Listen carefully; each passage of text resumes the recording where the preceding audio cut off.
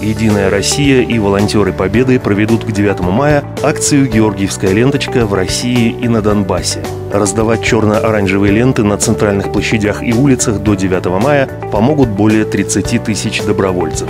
Участие в акции примет и Московское областное региональное отделение партии, сказал депутат Мособлдумы, региональный координатор партийного проекта «Историческая память» Владимир Вшивцев – Активисты «Единой России» и молодогвардейцы организуют раздачу лент в общественных местах Подмосковья. Напомним, 19 апреля «Единая Россия» внесла в Госдуму законопроект о приравнивании Георгиевской ленты к символам воинской славы. Это поможет пресечь случаи неподобающего использования и нападок на общепринятый символ победы в Великой Отечественной войне.